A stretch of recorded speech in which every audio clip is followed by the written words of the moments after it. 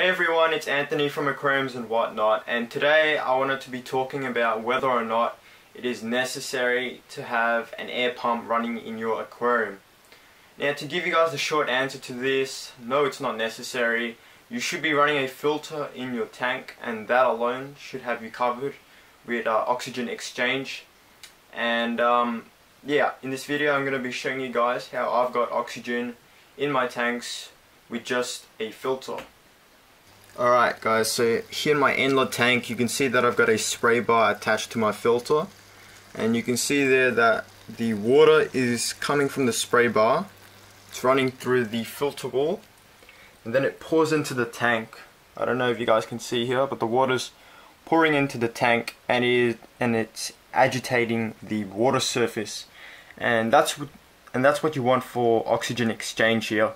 Uh, as the water is kind of like disturbing the water surface. Oxygen is uh, entering your uh, tank water which is good for your fish because generally if you don't have enough oxygen in your tank your fish will generally be staying up on the uh, the top very top and you can see that they'll that they will be uh, like sort of like gasping on the surface whilst if they're swimming around you've obviously got enough oxygen in your tank for your fish.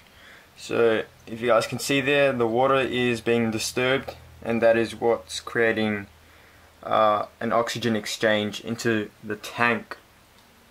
Now I'm going to show you how I have oxygen in my rosy barb tank. So as you guys can see here got water pouring out of the filter and this is really agitating the water surface here um, you're definitely getting a lot of oxygen exchange through this here you can see the whole surface is basically you know, agitated. Uh, the water is like moving and oxygen is entering your tank this way. So if you've got a filter like this, this is just like a standard filter. Uh, you want to have this part where the water comes out, you want to have like the nozzle above, just slightly above the water surface and this will give you oxygen in your tank. Uh, if you have it all the way down here you aren't really getting that much oxygen. You can see here the water surface isn't really moving that much. It is you can see a little bit but not as much as before. You're not getting as much oxygen or you know nearly no oxygen here so be sure to have the nozzle just above the water surface so you get like this nice flow of water coming out which agitates the surface and gives you oxygen in your tank. So like I said guys, if your fish are just hanging around the top level of the water surface and you can see that they're gasping for air, it's because you don't have enough oxygen in your tank. So, um, you know, you can get a spray bar for your filter or you could just uh, move your filter just a bit above the water surface so that you get like this nice flow of water coming out. Because for oxygen exchange like I've said in this video you basically just want the water surface to be moving and you want it to be like disturbed.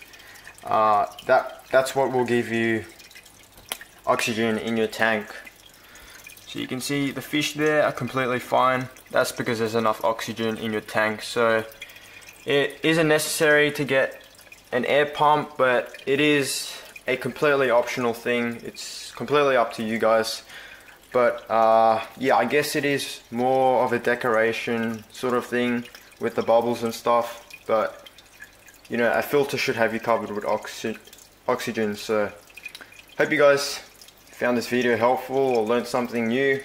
And uh, please subscribe, like the video. If you have any questions, just ask in the comment section.